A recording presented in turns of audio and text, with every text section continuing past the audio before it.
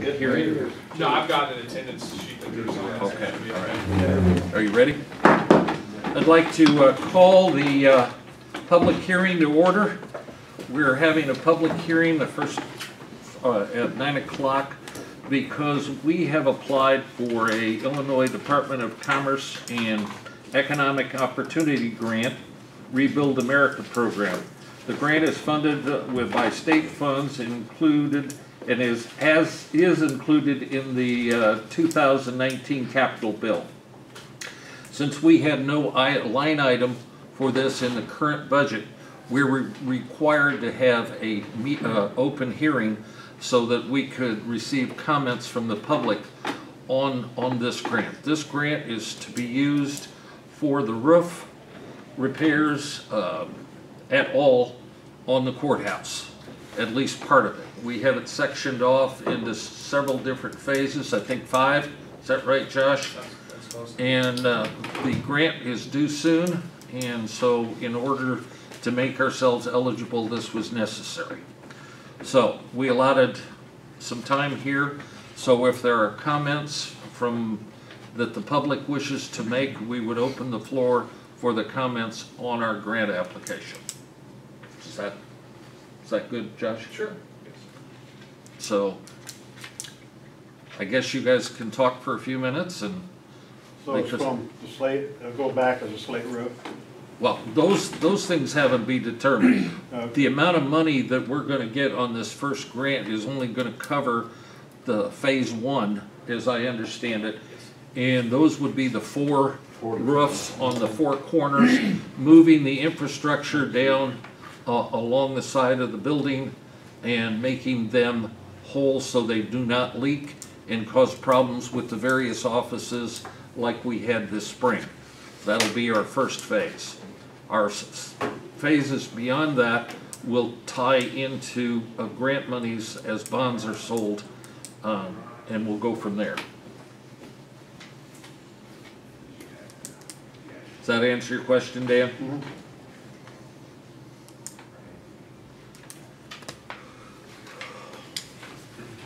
How long do you think we ought to? Well, you're the only public here, do you mind if we try to get a grant for a courthouse roof? That's great, get all you can get. I don't hear any footsteps pounding up the stairs. No. Wait, wait!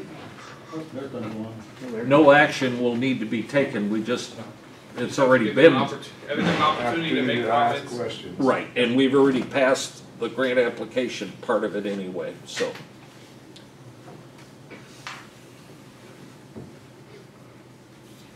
Do you want to mention who we're going to work with for the grant application?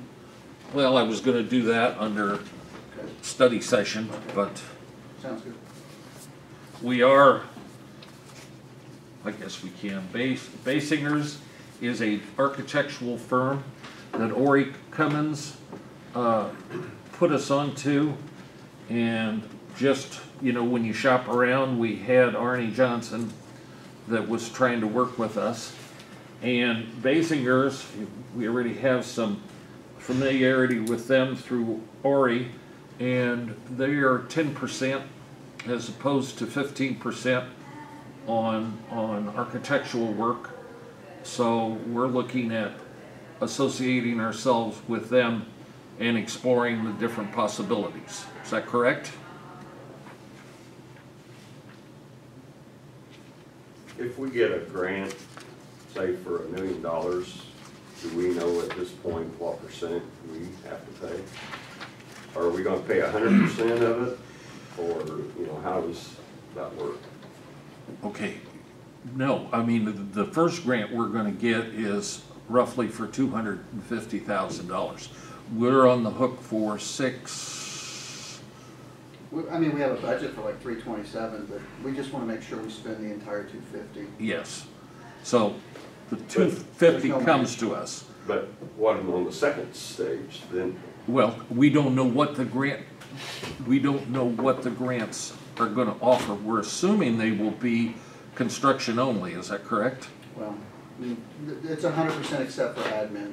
Generally Okay. speaking, All right, the so, DCO admin's the only thing that's. and admin usually runs how much? Ten to fifteen. Ten to fifteen. So if we got a million dollar budget, or we get a million dollar grant, we're gonna be on the hook for, what, a hundred, hundred and fifty grand, Okay. okay? Can you say, based on what I, I lost, it- lost you there? Million dollars, we're on the hook for one fifty, explain that again. That would be for administration of the grant. In other words, to do all the paperwork, uh, keep the state auditors happy, all that stuff. Just like we do currently with projects through the, uh, your office. Correct. In other words, when we get a, the bridge down there, we have to hire, who, who do we We normally use hire? Hillard for that. Yeah, we have an administrator, you've got an architect, you've got engineers, and those three categories, and the only one that's normally not covered is, grant admin, and I don't wanna correct Jeff, I'm not correcting Jeff, because it's what we've said all, all along. We suspect that when it gets high enough, ten to fifteen percent up to fifty or, or five hundred thousand, it, I'm guessing thirty-five to fifty would cover a million and a half grant. okay, but I, It goes I'd down. rather tell you high, Yeah, yeah, okay, Yeah. yeah, you know. we it's- might have to, we have to negotiate. and It's Jeff's kinda like also the talking- jail thing, they told us, uh, it's gonna be at least two weeks, and it wound up being four days. That's better than having them tell us four days and having it be two weeks, so. Now, John? yeah, on the changing the architects, I understand the cost savings, and I'm sure you've already looked into this, but the previous one already had done a fair amount of legwork on it. We're on the hook for six grand with him. Yeah. But I mean, I'm just saying, you know, as having the previous legwork done, I assume that's not worth the extra five percent or you wouldn't have changed. One thing that we've discovered with Basinger is they're very innovative. For example, uh, both of these outfits thought that seven fifty or eight hundred thousand might cover all of the roof, two, as recently as two or three years ago. When it came to go time, uh, the board, I was told to, to talk to WJE, and the estimate almost doubled, up to around one point six. The reason we like Basinger is because if you look at their report, they have innovative approaches to include repairing the slate roof. Cost effective, I guess it, I guess it enlarges our options down the road. We go from one lump sum of one point six million to remove and replace it all, down to hundred and sixty thousand to, to repair the slate roof, sixty thousand to strip and paint the standing seam. So, in discussions, we think, again, we're just putting a grant together, we haven't even Right, started on it. no, I- but- yeah. But in putting a grant together, You just think they're gonna be more willing to look at various options depending on how the money comes in. Jeff, you wanna comment? Is that fair? Yeah, I, I think, you know, Okay. you- we're, uh, they just, the first architects, I think, basically look at the place and says, oh, we'll just replace it. Okay, and what we're coming up with is a combination of replacement, they don't have it, renovation, that's not what this is. so, okay? I thought they had it. Yeah, they don't have that yet. Make sure when you look at that, remember you have a WJE report, now this is a basic report, and quite contrast there. You'll, if you, if you look at it closely, you'll see that they have more cost-effective ideas, let's just say. That's not going to say it won't work, and we've been told, I don't know if it's true, but I think we believe it, we've been told it's gonna cost you two hundred thousand dollars to get up there. So our minds are all clear, these flat roofs, you can, you've seen, one of them is fixed with a lift, and they're down close to the ground. But what we've been told, and what our understanding is today, unless someone teaches us otherwise, that you guys spend two hundred thousand dollars to get to the roof. Two hundred thousand in scaffolding, just to get to the roof, general conditions. Kind of like a trip charge, only not from Springfield to here, but from the ground to where they can roof. Well, I've gotta say, as long as we've been looking at the roof at the rate we're going, drone technology will probably be good enough that they can do the roof by the time we get there. That would be one hell of a drone. Anyway, we're trying, our, our folks that work for us and with us are trying to be innovative. And we think we ought to take advantage of every opportunity. Especially since we've got an association with Worry, obviously Josh and And uh, our engineer have been with us a long time and they've done a pretty good job of being innovative and steering us in the right direction. So that's what we're looking at.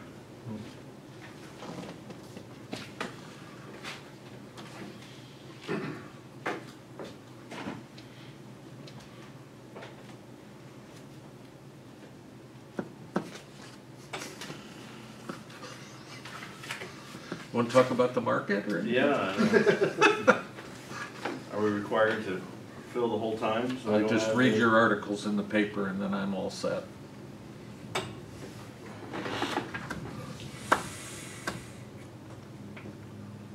Andy, what time is our meeting with tomorrow? Nine o'clock, No, not that one. uh, which other one? With Sycamore. Sycamore, not, it's at nine o'clock. We've got another meeting at nine o'clock. Okay, I'll, I'll get with him. Remember, we talked on the phone. Yeah. That's- Um, I'll get with him on that then. Cause I was, what, I, I got back with him, I said, I like, I re- I really like to move it at the time, but. You could move it an hour later, I that'd probably be. I can move it an hour later. Okay. So uh, Andy, what was, um, Tingley doing on the roof last? There was, that, I don't recall, it's probably a year, pretty close to a year ago, we Yeah, I remember we It were was gonna have him look at something. Well, and he looked and we got a, uh, I got an estimate on it, and we said, go ahead and fix it, and he Finally he did finally did it. But it was, So it goes back to what we talked to him about the last year, yeah, I remember that. Yeah. I didn't know if it's the same there, thing. there were some rotted boards, Yeah, we just couldn't wait to, couldn't wait to get it done. Because we had a lot of, well, not a lot, but we had some damage and it was getting Yeah, it worse. should have been done a year ago. Right. Yes. Yeah. Should've. And it hadn't, I, I think it had seeped a little lately, but it hadn't leaked through or damaged anything yet. It was Well, one- not in the last two weeks, I'm sure it hadn't. Yeah, I'm gonna declare the, uh, the hearing over. So if you, we've got a couple minutes till the special meeting. If you need to go to the little, or the restroom, you can. And we'll just start again in about fifteen minutes after. Okay. I mean, if you wanna, if you wanna move or second, later on, you can. Then you can sign. Would you all please rise for the pledge? I pledge allegiance to the flag of the United States of America and to the republic for which it stands, one nation under God, indivisible, with liberty and justice for all. We're, uh, we have a special meeting to uh, deliberate over three things. Augie, would you call the roll? Certainly. Chick, Here, Luddington. Here. Patrick, he's in the hall. Come back. Bruner. Here. Lorenzen. Here. Farnham. Here. Voigt. Here. Okay, we'll uh, move to public comment, and rather than making Phil wait for the study session, you're obviously welcome to stay.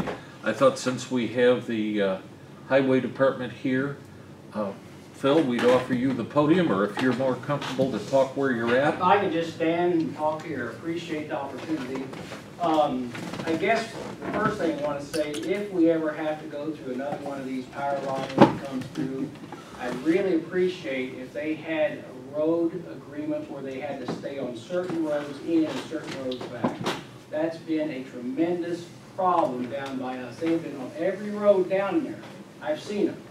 I know it's too late to really complain now, but there's no reason to tear up roads when they don't have to be on it. And they moved every piece of equipment from gravel roads to the blacktop roads, and they tore everything up, as Dan knows, and some of you guys have down there and seen it. I do appreciate the gravel you put on our road the other day, to make it so people won't be having a wreck due to the, uh, way the roads up. I, uh, hope the road is not left gravel very long after it gets construction done. I think, uh, you know, we started off with a blacktop road. I hope that's what it ends up when this is all said and done. The other concern I have is the speed. All these trucks that's been down those roads, we do have a couple families with small children who live down our road and other roads in this area too. and the speed of these concrete trucks going down those roads, 60, 70 mile an hour, and my road is basically a one-lane wide blacktop road. And honest to God, guys, it's lucky someone hadn't been killed. And I've been into it with the construction manager four or five times over safety issues, over taking their equipment over the roads without putting pads down. Um, I'm just here to let you guys be aware of what has happened with, I mean, no one watching. And I'm not the only concerned person down there. What they've done to my personal property is another story, and I know you have no control over that, but it's just been, we have just been thrown under the bus in all this. So like I said, if we ever have to go through another power line, pipeline, um, wind farm, whatever, I just hope there's some way to keep trucks on certain roads off roads, because it's costing you guys a ton of money to let them drive all over down there. And I think we're deserving to have roads put back in the condition they were before they started. And we all pay taxes down there too, and all we're asking is for equal treatment of what we had before and what we'll have after. And that's basically what I've got to tell you. But I do appreciate the gravel we put down there. Now, when it gets in my ditch, I'm trying to mow and throw gravel for two miles with the big mower, that's another concern. But We'll go from there. Well, if you name it. Well, you know, but we never got any, I could not get any uh, cooperation with those construction guys. Um, You know, they parked everywhere, they turned around in my neighbor's yard with semis. Um, It's just no consideration at all. I hear this. Can I ask a quick question? Yeah. I know we have no control over it, but out of my curiosity, just for our information, I gather that you have had problems with they're not quite living up to the agreements on your own personal Oh, property. um, um, yeah, I've got, I was supposed to have one tower put on me, I've got two. And the construction manager said, well, that might be a problem. I said, you're damn right it's gonna be a problem. You know, So that tells you, that tells you the things they've done is just, it looks like a construction company that has no idea what to do. They moved these, the, the pads dozens of times up and down the road, instead of just moving them in and moving them out. Um, They had the big drilling machine on me, instead of just going down the line, they went clear down around Becker's, and that means they're moving that machine three and four times on the same road or all the other roads, instead of just moving it once. Mr. and Mrs. Becker were here, what, uh, the last meeting? Yeah, I know it was. Okay, yeah. I just wanted you to know. Yeah. But no, and like I said, I've got two uh, pedestals on me, there's only supposed to be one, so that kind of tells you, Yeah, that seems like a that kind of of tells you a short, a short sentence that they didn't know really what they were doing. So, but like I said, if we ever have to have these problems again, I hope they're just kept on certain roads to keep the cost of repairing all these roads at a minimum.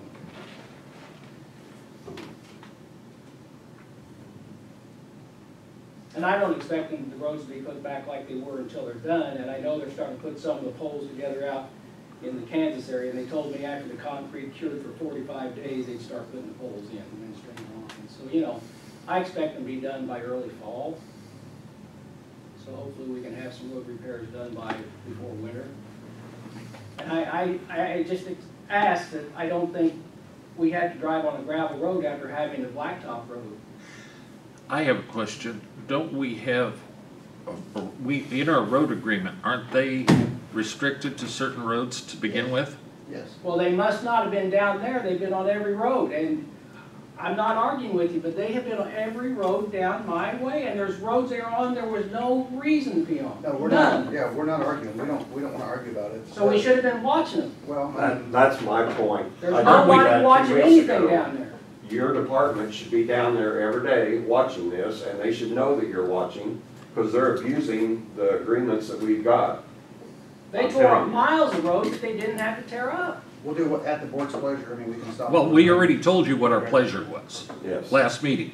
We told you that we More wanted monitoring. somebody down there monitoring, taking pictures. I mean, there's Now, three whether us. we can do anything, even if we see it, remains to be seen. Well, if they're not going by the agreement, and there are consequences to that? It depends if there's damage, they said just get their license plate number and tell us if there's damage.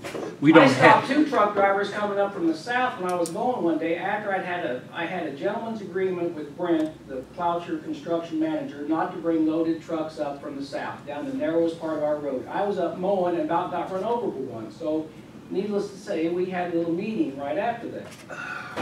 It's a, it'd be a significant gesture by the board if we were to change our focus and put our guys out there watching the roads. well, you're just gonna spend more money fixing the roads or tearing up, they're gonna be on. Well, hopefully, we're not gonna f- spend any money fixing roads. They're supposed to, the agreement we have is they have to fix them and maintain them afterwards back to the conditions that we agreed to before the thing, so. Absolutely. Well, and we're gonna be in a bind if they're taking loaded trucks down roads that they weren't contracted for and they have no contractual obligation to To fix. to So repair. that, that is a fucking problem. Yeah. So whatever we need to do to make sure that is taken care of is an absolute priority. Would you agree? I would, I think, I- what I'm saying is, is I think it's uh, extremely difficult, there's four different crews, I think, right now running, and it's extremely difficult to, to watch where they're driving for our, I mean, our guys are working, we're all working. So, I mean, as far as monitoring them, the- our best eyes are the constituents. Well, I don't have time to sit and monitor, but when they're in my, almost my Right. front yard, When you, when you say they're using all the roads, is that primarily like heavy trucks, everything, loaded they're, trucks? they're, I mean, it's just, also, their personal equi- uh, trucks they drive to work, I don't care about that. But this is semis, concrete trucks, the drilling rigs, everything, they've been everywhere. Some of those weigh about eighty, sixty, Oh, I bet eight that. I don't know how much that big drilling rig costs, I have no clue. It's gonna be more, it's gonna be more. But then when I talked to the construction manager, he said, well, there's a lot of these truckers I can't get a hold of, and that, I Oh, just that's walked bullshit. away, I just walked away. Is it possible to go down and post the roads that are not on the road use agreement? I mean, not legally, but we could. Because just because where it says Cloucher Access Road doesn't mean that was the only roads they used. And I thought when they put those signs up, Yeah. that was the access road to the construction site, but it uh-huh. obviously wasn't. So I, there again, I'm just asking to save, I know we're not gonna save, it's not gonna cost hopefully the county any money to repair these roads, but it would save Ameren money or whoever's gonna fix these roads money. So it's, If they fix them. if they think, well, if they don't, I wanna be here every meeting from the Well, I next ten with years. We agree, we agree with you. Derek, did- would you have a part-time deputy that could be down here every other day or something? I mean, it'd probably be worth the money for the county to do that. We can try. That's what I was. Well, Wouldn't that be an see what we can option? do. They'd need direction from the highway Right. department to know what they're looking to at. Know exactly which road. Yeah, they need to have the road use agreement, know which roads are, And not just, not just because the roads are being destroyed or torn up, the safety factor, the speed of these guys, and I know guys, they wanna get these projects done, and, you know, if I'm driving a truck, I'd probably be pushing the limit too, but honestly, when you're driving a concrete truck down past Andy's house and our road at sixty mile an hour, there is no, there's no sense in that. That's just like the construction manager told me the other day after that five inch rain. Yeah, I said, couldn't you have waited a, a day or two? He said, Yeah. we can't wait. We've Yeah. got a timeline. But they- There's consequences if we don't meet it, so we gotta go. well, after he went So through they don't us, care. after he went through us and cut down five feet through our field to make a super highway to get the trucks away from the mud, Yeah. He said I'm on a timeline, well then they took three days off and they take every weekend off. So the timeline to me, there again, there's so many questions I don't get correct answers on, and that's just what I'm trying to convey to you guys this morning. You just gotta get a level playing field for everybody, so in case this ever happens again, be more prepared, monitor the road shows. Phil, I think you should understand, and this isn't an argument, but we, they didn't need a road use agreement with us.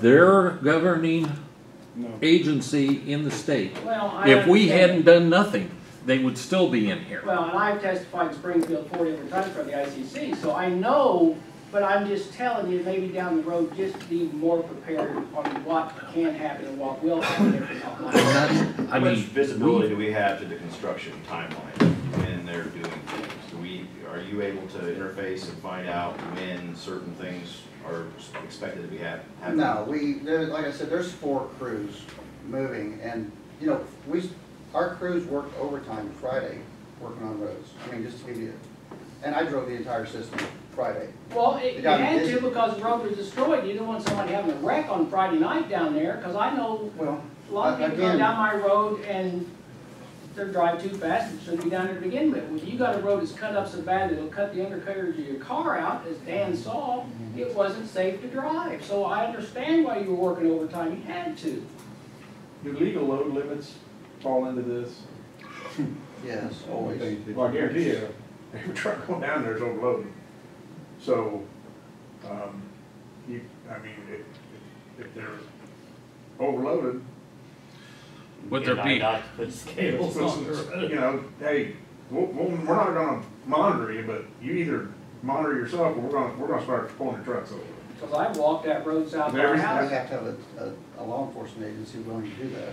Okay. That's what I'm saying. Now, sitting right behind you. I'm sure ISP would like to write those big heavy, heavy. I'm sure they will too. They, Trust me. yes.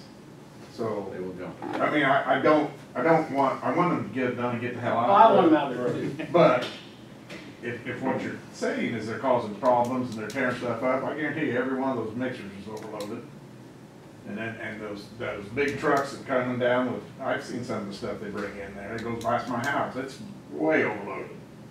So, And that's another thing, what happens, what happens after this winter, after the project's done, and some of those culverts down the road, and and I'm just not talking my road, I'm talking all the roads, because I've driven almost from Kansas all the way up where they're at now. And say after this, the wintertime freezing thaw, and the roads are gonna buckle back up because they're not a thick road to begin with, who's responsible for that after they're gone? they are, Yeah, aren't they? They're It'll be, it'll be our job at the end of the project to evaluate, make sure that we're comfortable with the settlement, what, what's gonna happen on, as far as repairs. It, as, as, it- as it's occurring daily, there's an interaction. Josh is in charge of the project, because I knew this was coming, but, uh, there's an interaction with Josh, and my suggestion and observation, and really the only path forward that I could think of outside of stopping all of our summer work and like camping trucks out there, which is, if that's what the board wants to do, we can do. Uh, Is for the constituency to say, hey, you know, I've got cement trucks running past my truck that I know are overloaded, call us, and then he'll call Ameren, and there'll be resolution quickly. Really? Mhm. Now, where there's not resolutions, where we know they're destroying the roads, and they say, well, we will fix them back when we're done.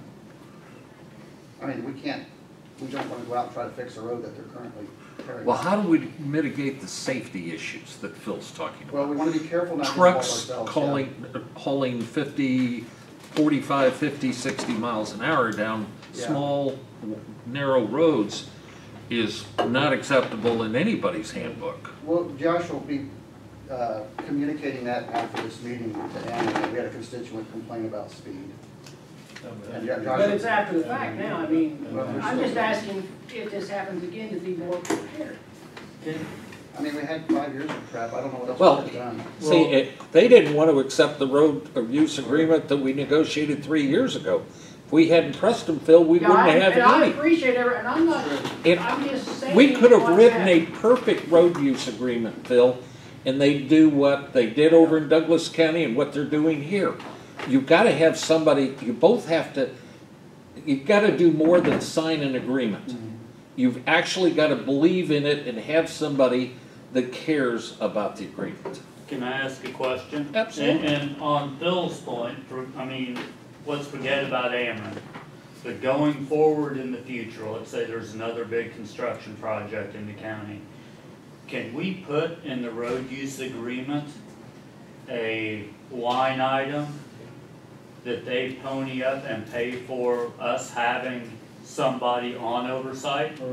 So if we had somebody from the county highway garage that was done, you know, like any other construction project, when you oversee a contractor, could we have gotten, get the company to pay for us to have somebody down there forty Yeah, hours I, a week I assume so. watching? I I mean, assume so, yeah. They wouldn't necessarily have to agree to it, but it would be kind of like a, a, a project administrator. I think people have a misperception that we're not watching this. We, we are, we are out there. I mean, we just, we can't cover, no, no, I know you are, and, and we're, ground. And we're not slamming you for it, I'm just saying that, and if you had a road use agreement like that, and you could have somebody's salary dedicated to being down there for the duration of the project, that would make life a heck of a lot easier for you. Then I'm gonna ask Josh to ask them if they'll do that moving forward and see what they'll say. How's that sound? And I don't even know, it's probably too late for the Ameren project, but. No, it's, it's got a ways to Well, go. we still got, what, three, four months left of it? Right. why couldn't he drive one of the sheriff cars? Well, Left side. I think we. Well, I'd rather let Ameren pay the salary. Yeah. Right. Carl, Carl, go ahead, I please. think we need to monitor more by the, because the highway department knows the rules and all that, and the roads. And it wouldn't hurt for the sheriff to, during the daytime, have a SWAT car, not spend all day down there, but, you know, at least once a day, or, you know, whenever they're not busy, go down there and just be driving, so they're seen to send a message maybe. And we know, Phil, that you're asking for the, but there's things that could still happen that we'd like to avoid. Well, and that's why I'm just bringing it to your attention. Like I said, I I'm not upset with anybody. I mean, I know construction projects and their messes and stuff, but this one to me has just been, and of course, you know, we, our group fought it for years coming through the way they kind of just went across us, and I understand. But I just want you to be aware of what's actually going on. That's all I ask. We Does do, that in other counties where they come in and do the same thing? Yeah, Absolutely. absolutely. Wouldn't be much of a power line if it wasn't. Yeah, true. Yeah. Did, did they have an agreement with Doherty there on that corner? Are they renting part of that lot, or is that just where the, that's, No, that's just where they settled. I- I'd be pretty hot if I was him. Well, It's and in his Dave's eighty, backyard. you know, Dave's eighty-three years old, and I'm kinda his spokesman for him too. I mean, but when you get a semi in his yard I- stuck, yeah. because he just didn't take time to move another truck out of the way, they didn't have any consideration for him either. Hmm. And they know he's an old guy, well, we just barrel him. Yeah. If, if we can go back just for a second, so I assume that at the very least, when we're building those towers, when we bring in those trucks with that steel on it, um, that that's gonna be another friction point, right, where there are heavy loads Well, on the roads. I don't know, safe to now, the, the trucks they were bringing them, just a normal forty-foot semi, flatbed bringing in the towers, and they bolt them together. So the, I think the amount of the heavy equipment, heavy, heavy equipment, equipment's probably over. Yeah. Yeah. You know, I, I suppose they'll still cut the corners and break down the edges of the roads with the semis, because those roads are never, never really intended to have that kind of usage. and as we proceed in the construction season, it's, you know, normally gets drier. Now you watch, now that I've said that, it'll be the wettest spring, But there the again, wettest. too, when they bring those poles in, I hope they're not coming past Chad Cornwell's house or Andy's house at sixty mile an hour. Turn. Those things are pretty heavy.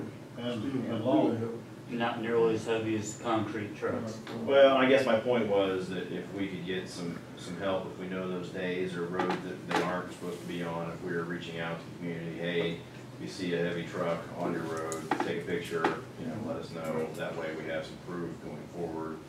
That way we can cover some of our bases and make sure that we're not caught with our pants down at the end of this when we have heavy damage to some of our roads that weren't in the contract. So, I mean, if that's, that's a reasonable ask, then, um, every little bit helps, so. And I know Derek's the representative from the sheriff's department here, but I'd also like to point out that the sheriff does have to drive right through the heart of that to go home every day and to go to work. You know, if you're looking for a, a set of eyes on the project, that's a pretty natural pair, I would Well, think. it's, depends on where they are that day. Sure. That was a two-week, well, Sure. month period they were there. Right. Now they, month period, they're by your place, Yeah. you know. No, and I understand that, but you know, there's different ways to drive to his house. Well, and i- if we know in advance where they're gonna be month to month or every two weeks, then we can, we can adjust accordingly. I mean, that's not gonna be a problem. Boy, we wish we knew that. Yeah, Yeah, I know. I figured as much. Yeah. Well, Josh, you'll try to, you folks out at the highway will try to get a little bit more, I don't know, planned, a, a plan in front of you from Ameren after you talk to them today? Isn't that what you said you were going to to? Friday. Huh? Talk to him Friday, I'll talk to him today. Well, I thought you said you were gonna call them after this meeting. going to, yeah, we'll we'll make a phone call. after. Right, and then, I mean, we need to let folks know who to call if there's weight limit problems or if there's speed limit problems. Oh, yes, absolutely. Uh, We're not, we're not uh, dodging that. If a constituent calls us, we'll respond. A constituent sees a truck going. What's the best number for them to get you at? hour. The four six five forty-one thirty-nine. Okay. Do what? Leave a message. Yeah, if you don't get us, we're, we're pretty short-staffed. We've got a lot going on, so uh, uh, if you, if you don't get a person, leave a message. Can you help spread that word in your neighborhood, Phil? Yeah, but see, of course, they're about out of my neighborhood. Yes. And get a, Yeah, I- and get a license plate number. Our suggestion is what Josh gets from Ameren. If you see a vehicle of some sort on a road that you don't think in the road use agreement, or you see an overweight vehicle? Well, that would have been, I'd have been sitting out there hours on end, I mean, it was, had a concrete truck every twenty minutes. Yeah, well, I mean, if. I don't have time to do that. But if someone does, That's what I'm Call. saying. I was saying that. Yeah, we're just, Yeah, I know. don't get a lawn chair and a, and a cool drink and an umbrella. But if you see something, say, say something to And us. like I say, I'm, I'm just, We're not trying to put it on you, I you've don't want to got sound like enough I'm a on you. constant complainer, but I'm just telling you what's going on and, Well, it's good. No, you're not the one that's complaining, that's, that's the point. and the trouble is, it's not gotten any better over the last months. Are they almost done with the, uh, concrete work, all, the whole line? I'd say, I was trying to get a percentage from them, they were about two and a half weeks ago, they were at fifty-one percent, so I was saying they're probably at least around seventy-five. Okay. I think he was hoping they would be done with all that by mid-July at the latest, if the weather cooperated. And then Then they were forty-five, gonna, then, then they're gonna move to the towers. they're over in Which- Elbridge Township now, okay. so they're That's all getting down towards what- them. Well, not to state the obvious, but so we can fully expect that what has happened to you will happen to those people in Elbridge Township now. So that word needs to get out to those individuals. The same thing that, Phil, you wish you knew back then, you Well, the know, as thing- far as license plates And and the thing what. now, it is drier in part of the summer, so the roads hopefully won't be torn up as bad as it was in the wet part of the spring when we Right. were down. And while way. that's important, But- the but I'm- safety issue The is a big safety one. issue right now is the thing you really gotta look at. you know. Bill, thank you. Thank you, guys, I appreciate it always. Is there any other public comment? Tell those guys they come on in, Bill, we're staying out there.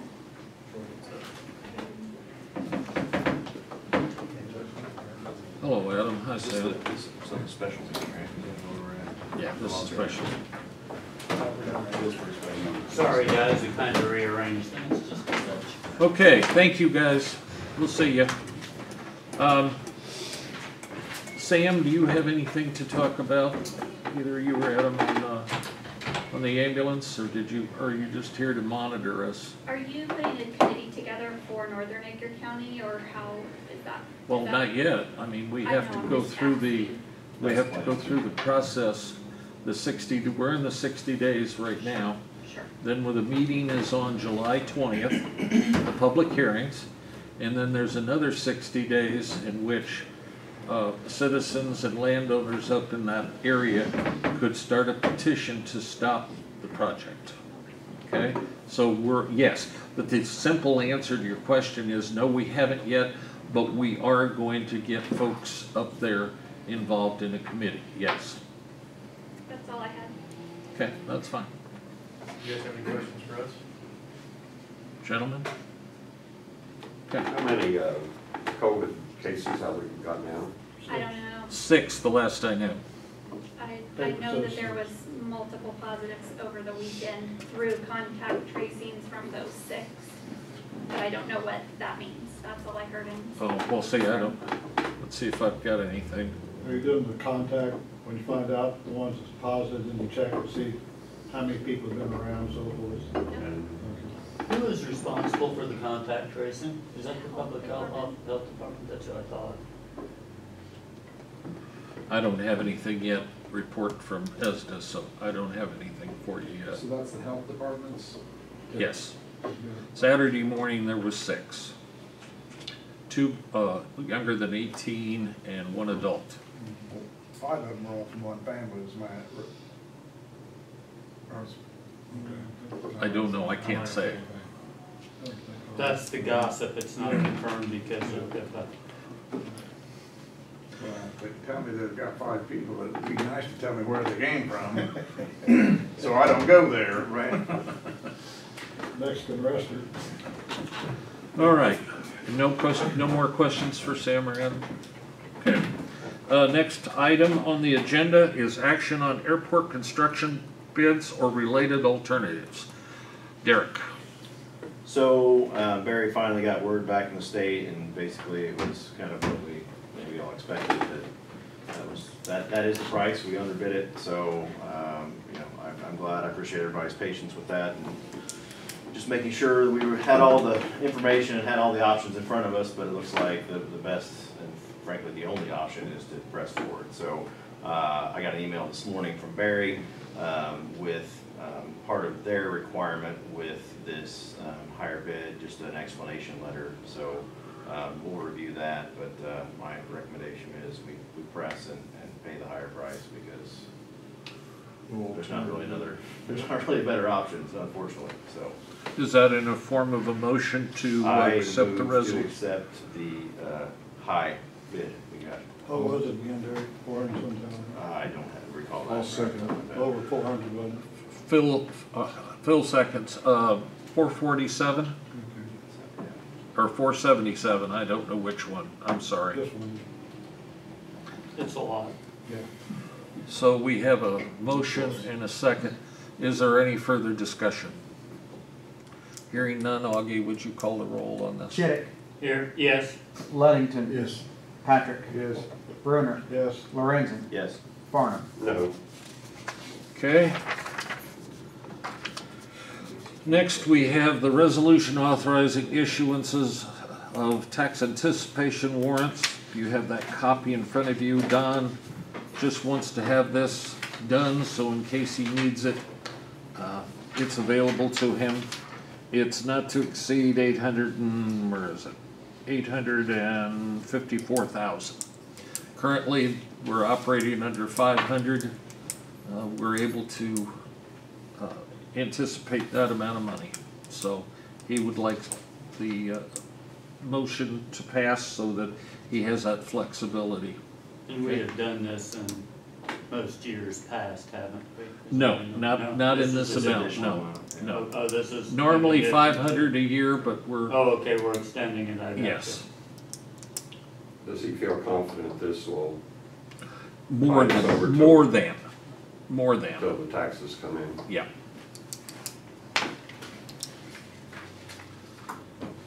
Questions? Motion? So moved. Second.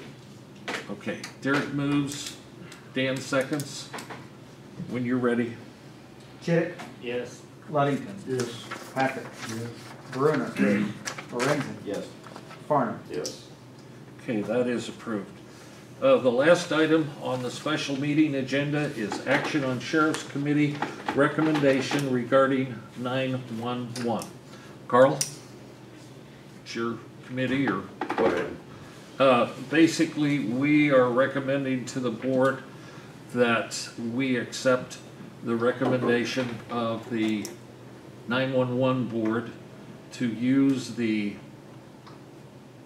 part of the jail that they built, uh, previous and move all of their equipment and their operation back to the newer part, or newest part of the jail. Um, They have worked with staff, that's why Derek's here, in case you have any questions. We obviously have Troy here, and then we have the fire chief here. So Gates is here, and Eads is here, and uh, so we're, if we need to hear from them, but we think it'll work best moving forward. So Derek, do you have anything you wanna, Yeah, I've shared with you, if anybody's any questions, feel free to ask, but I've shared with you my feelings on it. I think I think it's the right move for right now. It's the best move to keep it in-house and move it back to where it's a little uh, safer uh, area, not to mention a more conducive area for long-term. and you do have generally a plan worked out to how we can accommodate other issues in the front part of the jail, including attorney, uh, client meetings or like the judges for pleading over the, the system and all that stuff? Yes, it'll be a work in progress. I mean, we'll have to, we'll probably change it up as we go, but I think it, we can make it work. Okay. Troy, do you have anything you wish to say? I, I appreciate the board's, uh, uh, understanding and uh, I agree with uh, Chief Deputy Weston. I think for, it's the best choice for the time being under this conditions. Um, Obviously, we'd like to look for a, uh, a better situation, maybe five, ten years down the road, just if there was a public safety building or something that ever passed. But for now, we're investing over three hundred thousand dollars in brand-new equipment for, uh, the dispatchers. That equipment, it takes up a little bit more room. Um, we wanna change the environment for the dispatchers at the same time as we're updating that equipment. So the time, the timing was perfect to, uh, to make this move at this, at this time. We appreciate any support that we have. Brian, did you have anything you wish to add? No, not to add, I just wanted to hear if there was any questions or concerns on it that would help me on our next meeting, kind of place my Yes, Danny? Is there a fee that nine-one-one pays the county for dispatchers? I think I asked this before. No, Say again, please. Is there a fee that nine-one-one pays the county for dispatching? There's not a fee. We have a intergovernmental agreement with nine-one-one. And Carl, as our representative in the board, the nine-one-one board looks at that on an annual basis and decides what is adequate and reasonable for nine-one-one to reimburse the county for its, for, uh, its services. Okay? Yeah. And that's looked at annually. Yeah, currently it's, I think, forty-five percent of the total cost of dispatch. Okay, I just, What the I knew we, I knew they paid something, I didn't agree with that much. Okay, Correct. thanks.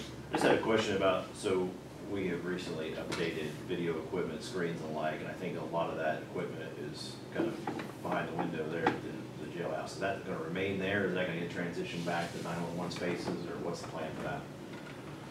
Well, I believe some of it will get transitioned back there, uh, and some of it will stay up there. I mean, it'll be, um, Basically unmonitored is, yeah, well, it, it'll be mon, everything's gonna be monitored.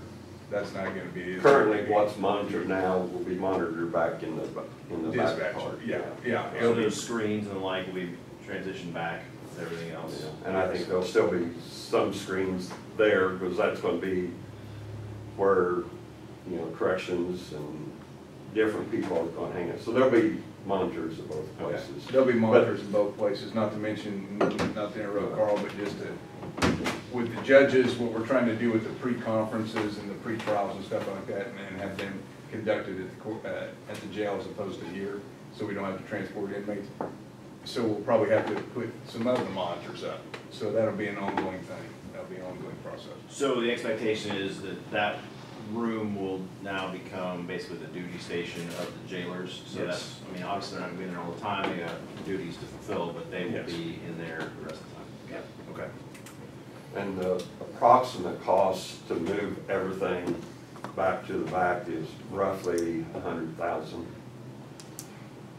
uh, for everything.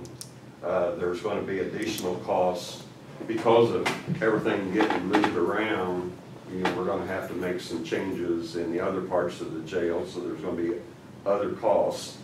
And that's something we need to discuss, you know, or have a discussion with nine-one-one on who's gonna come up with the expenses on that. Yeah. That's a good question. We And- do and It's gonna be a lot less, but there's gonna be some costs to different things. To that end, we are meeting tomorrow morning Yes. with the sheriff's committee is gonna be attending, and we did post that we will be there at nine o'clock tomorrow morning. And, and, and we continue to work with the sheriff's department, the sheriff and the chief deputy. Um, unfortunately, not the sheriff's committee, and I apologize, but we will do anything we can to help secure that facility, make it more secure, and also get it to where it's back to standards. Anything that we can legally help financially or, um, administratively, we will support that. But I think, you know, now that with all the money that we've spent, you know, in the jail part, you know, we're, this is a significant amount of money that nine-one-one's gonna be spending to move this, but in my opinion, this is fixing us, getting us set up for several years that we can continue to operate. Uh, you know, I've said all along, we don't need to build a new jail, for now. You know, on down the road maybe, but for now, I think we're getting everything set up that we can continue for a few more years and adequately operate fine. They're just, you know, that was my, was one of my big things on the public safety. You know, the perception a lot of people had was, oh, we gotta have a new jail. No. The insurance company vice president told me back in December, I said, if we build a new jail, can we be insured? Absolutely not. Absolutely not. it's administration. And they, he made that comment just the other day. You know, it's fine doing all this fixing up, but if you cannot run this place and administratively and do things the right way, it isn't gonna work. No, I- and I agree that, you know, all measures should be taken to get us up to snuff in all aspects pertaining to that part of the, the city there and for the county. Um, You know, and we'll see, once we get up and running, you know, what, what issues we continue to run into that may be based on infrastructure or vice administration. So, um, I think it's all, all the good, and if that, moving in nine-one-one will make us more efficient altogether as far as our county corrections and, uh, sheriff's department, I'm, I'm all for it, so. Well, and I think the other caveat that we didn't mention yet, the moving from the front to the back, there'll be no interruption of nine-one-one service. They'll still be, able you know, if they were to have to move to another facility or another building, you're talking, you know, where's the servers gonna go, or, you know, how we gonna still continue to handle nine-one-one calls outside. And this way, everything still be in-house. They can still be constructing back there, they can still be working up front, and we'll still be handling nine-one-one calls, so. So it sounds like everybody involved is in favor with this, or, you know, thinks it can work out and is the best way to do it, so, That's why it was important to have everybody here. yeah. Motion to accept the recommendation. So moved. Derek moves, Andy seconds. All those in favor signify by saying aye. Opposed, nay. It carries unanimously. Uh, That uh, concludes the uh, agenda for the special meeting. Um, I ex- uh, accept the motion to adjourn. Derek moves, Andy seconds. All those in favor signify by saying aye. Opposed, nay. We are adjourned. In about five minutes, we'll start the study. Well, why don't we start off with the jail? Is that all right?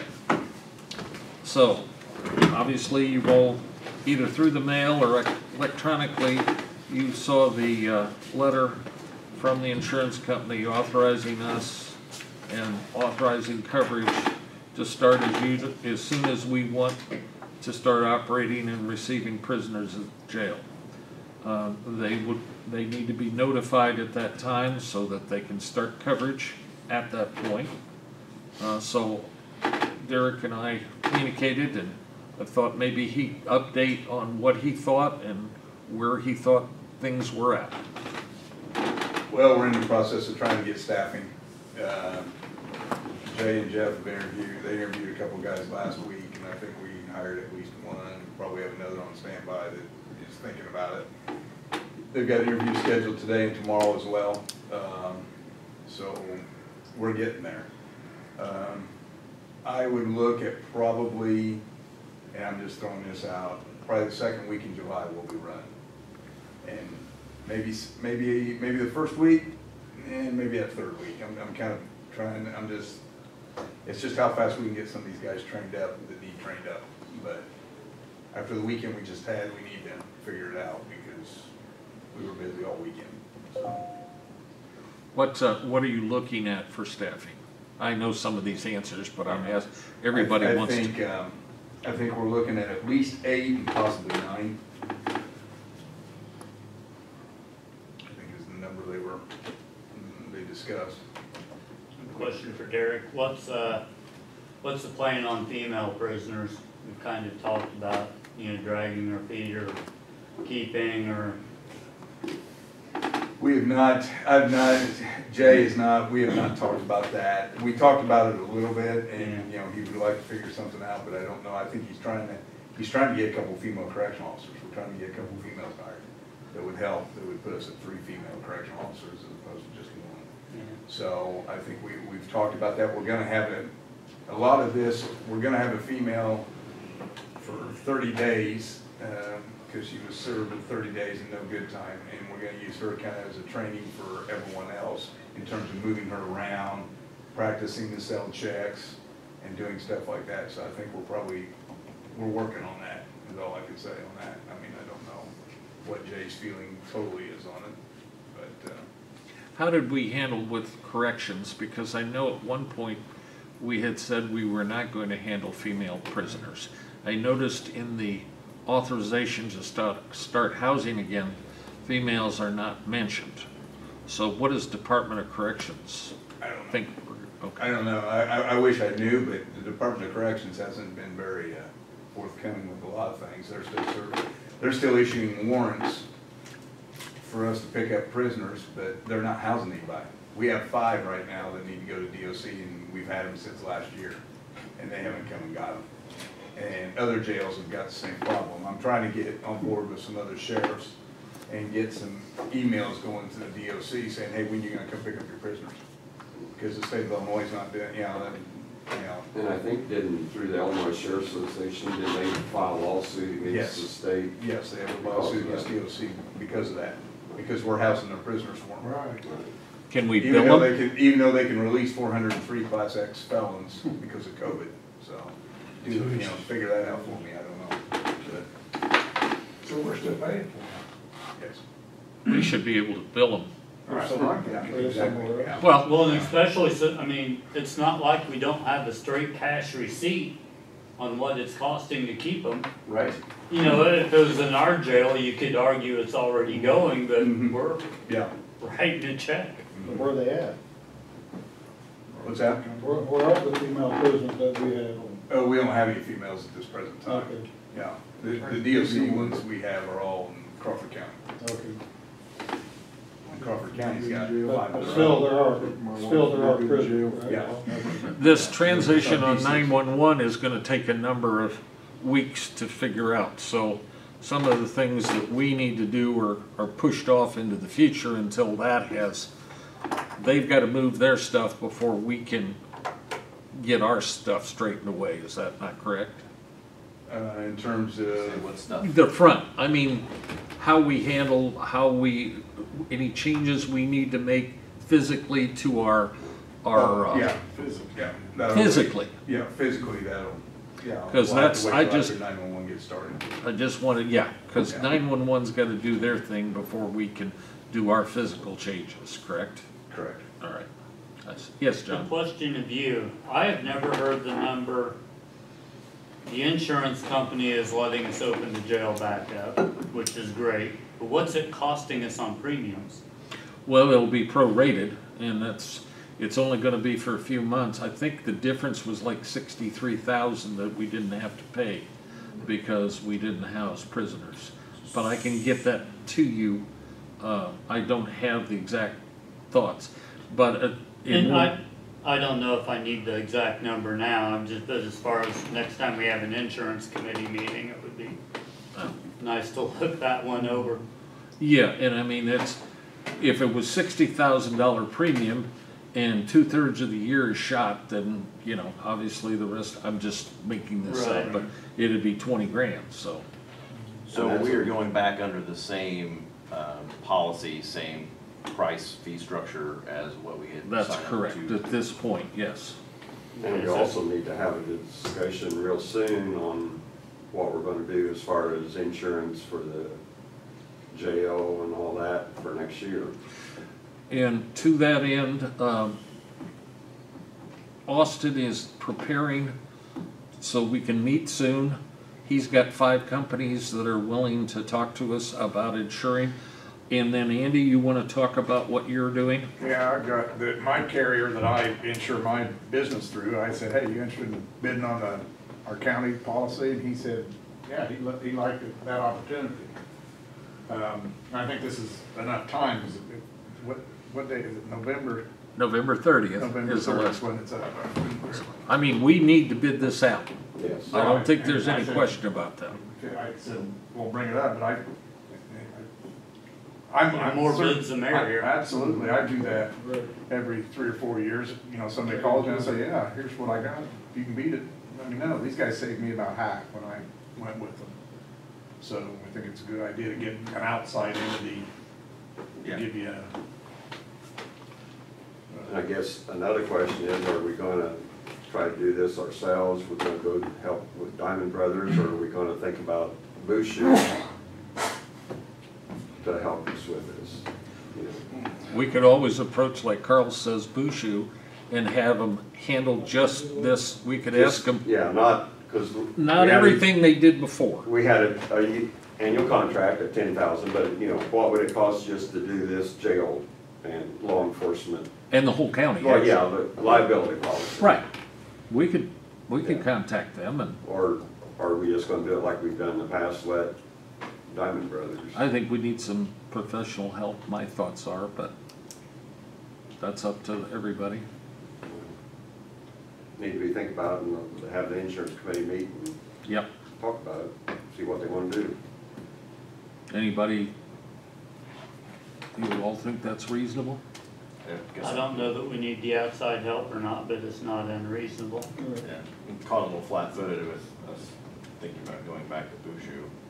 Well, we- There may be, you know, Or somebody else? I don't, it You know, doesn't have to be. and I, I really do like the idea, I mean, we need to make sure we have our ducks in a row about what we're asking for.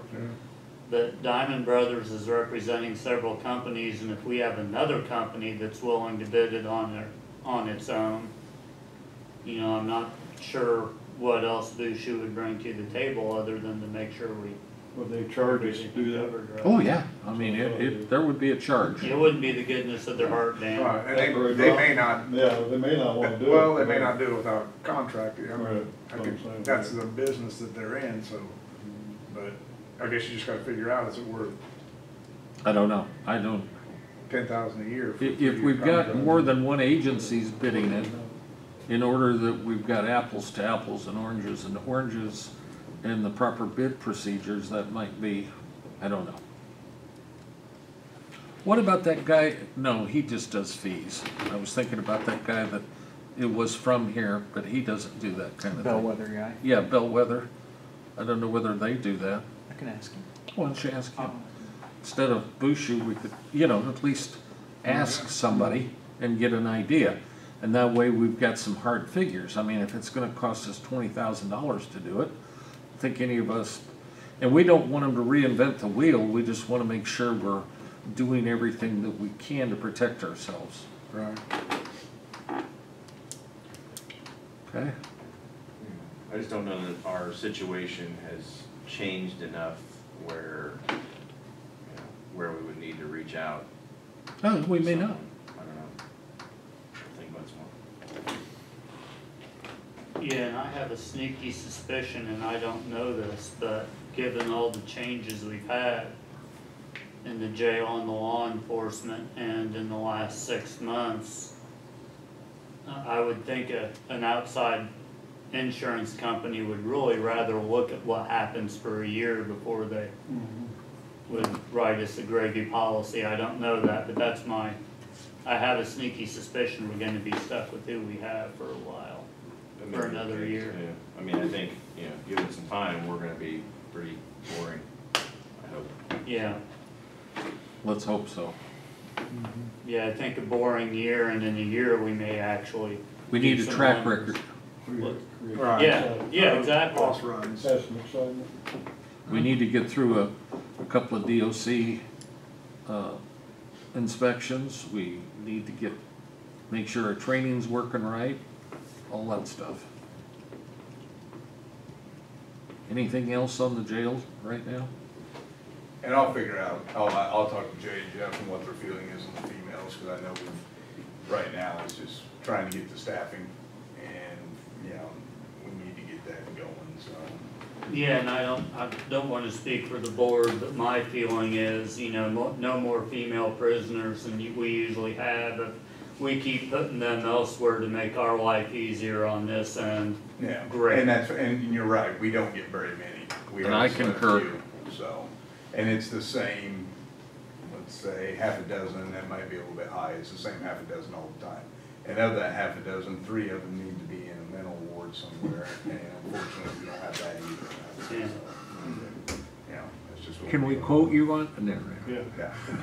we won't tell your wife you said that. Well, yeah, oh, But this new thing that's out of the hospital, that might be something that will help. A- Absolutely, and I hope it does, and I hope they do get that up, but, you know, the only, I don't know that there'll ever be a bed available for what we, I mean, we dealt with one, Be temporary. we, we dealt with one all afternoon yesterday, and that guy was from Missouri. And how he ended up here, I'll never understand that. But yeah, he was on quite the bender, and he was definitely a guy that needed to be put somewhere. But we had absolutely nowhere to put him, but we figured it out. Then was on tape, station. Anything else under the jail? Or sheriff's department? Okay. Uh, Dan, do you have anything at this point? Uh, yeah, we had a meeting last. Thank you, week, Derek. You're quite welcome. The health department, and, uh, Yes. we had a, uh, three people from the Yankton County Fair Board that came and, and talked to the health department, and they kinda wanted to have the fair I this fall. Cindy, I got- And Janet explained the restrictions that we implemented, and we let them make decisions. Well, the paper came out Saturday, uh, more or less indicated that the health department had told them they could not have the fair, and that's not true. So uh, I think that should be Bye, Derek. a retraction in the paper to the fact that the health department did not make that decision on the fair. So. And the number of cases in their county increasing, so you're putting all these people out there at the fairgrounds in one spot, and I just don't think it's, and Janet explained that to them, what had to be done in order to have the fair, and I guess they made the decision later on not to have the fairs. But the health department, health department did not tell them they could not have a fair. No one made that clear. So your understanding is they're not going to have the fair? Yeah, it was in the paper. They're not gonna have a fair as such. They may have something later on, like in the grandstand, tractor pull and so forth. That's gonna be later on in the fall, so. But right now, there's no fair in July like they normally would have. And There will be fifteen carnies camping out there for a Right. week, just, Yeah. just hanging out, so you wanna Wear your mask and go wave. Drive by. That's uh, where we stand now on that, and that's, I just wanna make that clear that they did not make that decision. So, Okay, any questions? Andy? we're, yeah, that's only reason why I haven't been there. Um, Smart Watt's getting ready to wrap, basically wrap up their, um, everything that we've gone through with them. Yeah, Chuck was here last week, went through things. He'll be, I think he's gonna be here tomorrow. If not, I know that Sycamore Engineering's gonna be here, uh, and try to, I'll, I'll verify times with people. But I wanted to be there when they did it, instruct us on how to use the system. I talked to John this morning, I know people have had trouble with it. Part of it is, those are the settings that Sycamore has, uh, that SmartWatt has dictated to Sycamore that the- they want this system set at. And John assured me that tomorrow, after we go through our meeting with SmartWatt, he, he is going to reset the, the system so that it's gonna work according to how people want it in their office. Um, He goes, it reverts back because that's, that's part of the contract that Sycamore has with SmartWatt, that's what they'll set it at. So tomorrow is the last day that SmartWatt will be involved with it. So he said he's gonna come in in the afternoon, reset the system, and have it to where it operates. Well, we're paying to heat this place when we shouldn't be paying to heat Right. it. And I, are we gonna get any credit for that since Well, they haven't set the I, system? I don't know that it's heating it as much as it's not turning the cooling on. Have we got heat coming out? It's, it feels like heat. Well, it says heat on the thermostat, Andy. It says heat, well, I told It John says that this auto morning. heat, and when I walked in this morning, It was heat. heat was blasting out of my register. It was warm. The It's one out here by the elevator, when I No, I- walked in just a both of bit those it are- was warm. Yeah, So, yeah, they're both heat. And I'm gonna go, I, yeah. Angie says I, it's I heat told too. him, this, huh? Angie's office, the courtrooms, it was blowing heat this morning. I turned it to cool so you guys wouldn't be so I, hot. I don't know why. Well, I just think They'll that be they here sh- tomorrow. You know, we've, this isn't the first time we have asked them. In fact, when we met that guy when we were looking at the units on the porches, you remember, he said he was here to, to, uh, Check that. check that and get everything in sync. And obviously that did not happen. All right. Dan? Is there a master control for that? Yep. One, one spot that one person can set the whole thing in the courthouse? Is that how it works? Well, it can, yeah. I mean, you, you pull it up and it's a, sc- it's a computer screen and you Okay. Can just check wondered. different But boxes. each, like, uh, Augie can adjust his office. He just, he can do his in his office. Okay, that's what I meant. But is that true of all the offices? Yes, It's just his? Okay. except the They can only atrium. adjust it so many degrees each way. Is there a Um, limit? There is a limit in there. Five, Five? five either way, I believe. Isn't that's that, you guys that's what the Yeah. guy told us. Well, yeah, and it wouldn't, like, you could engage like the radiators, like, you know, like there's a limit, finite amount of adjustment without the master control. Now, on the same subject, Dan, how's, uh, public health been with all the Uh, system that they have? I've, I've really, Jan did not say anything, I know the chillers went down, I was gonna ask the question Yeah. if the smart watt was gonna help pay for the, replace the chillers. No. Okay. so- Um, I was in a meeting when, with Sycamore,